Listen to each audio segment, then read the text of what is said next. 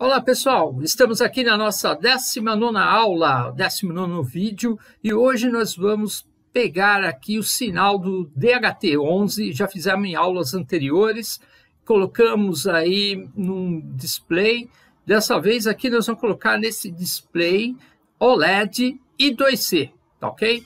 Então vamos trabalhar nisso. Lembrando que eu estou desenvolvendo aqui um trabalho no Centro Paula Souza, aqui um curso, e nesta aula nós vamos chegar aqui mais um pedaço do desenvolvimento para trabalhar com MicroPython no TeamSpeak, ESP32 e MicroPython no TeamSpeak.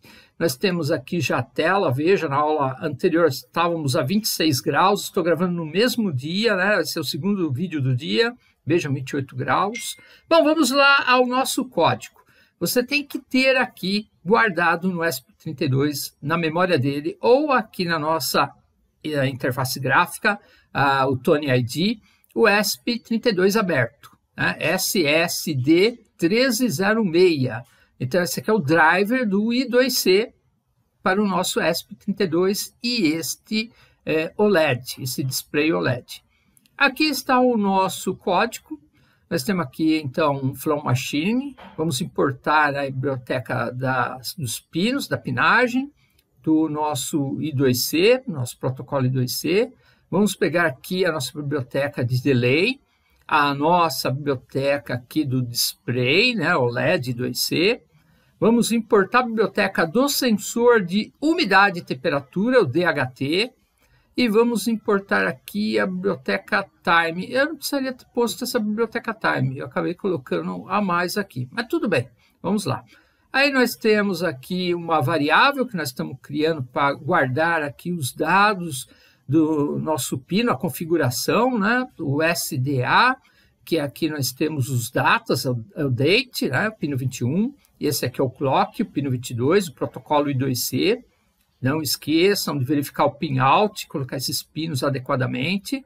Uma variável aqui, o LED, né?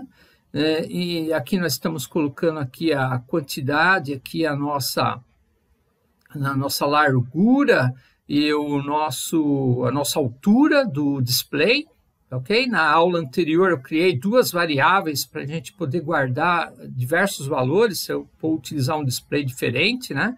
Eu posso mudar sem precisar ficar mudando aqui.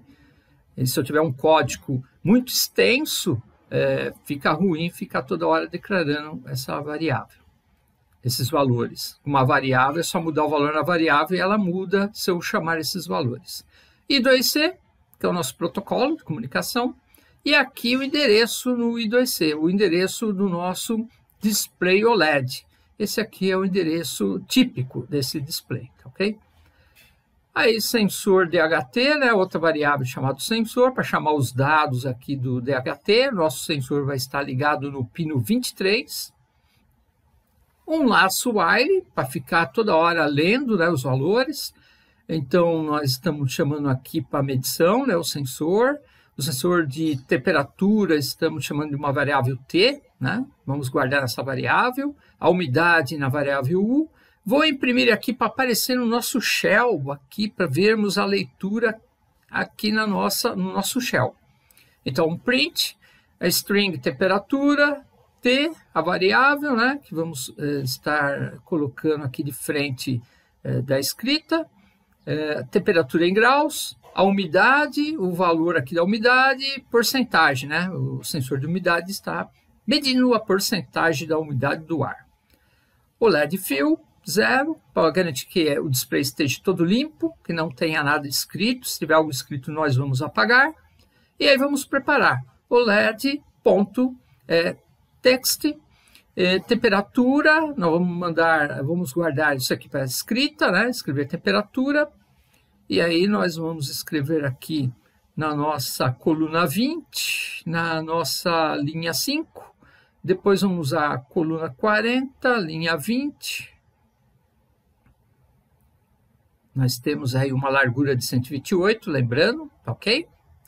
Então, vamos lá, escrever temperatura. Vamos ter que transformar ó, a str, string, vamos pegar a variável e transformar numa string para poder escrever no nosso display, tá ok? E a mesma coisa com a variável da umidade. E aí o LED.show para mostrar tudo isso aqui, escrever. Vamos lá, vou parar aqui a minha aplicação que está na nuvem, tá? Estou parando, vou dar um stop. Vejam que o nosso display aqui está apagado, não tem nada. E vamos pegar e rodar. Lembre de, se você for gravar, for salvar, né? Arquivo, save as, né? For salvar aqui, gravar na memória do nosso ESP32, vocês têm que salvar como arquivo main, tá ok? Bom, vamos lá. Eu não estou salvando, vou rodar a partir aqui da minha interface, da ideia Tony. Então vamos lá, vamos dar um, um run. E já temos aí temperatura e umidade sendo escrita, tá ok? Vocês podem ver. Deixa eu aproximar mais. Conforme o LED, tá, ele, ele tá, vai aparecer piscando, né?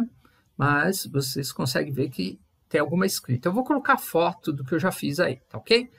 Bom, pessoal, então já temos a nossa escrita e agora nós, na próxima aula, vamos jogar isso na nuvem, no TeamSpeak. No próximo vídeo eu devo explicar sobre o, a plataforma TeamSpeak, uma plataforma de IoT, tá ok? Até a próxima aula, pessoal. Até mais.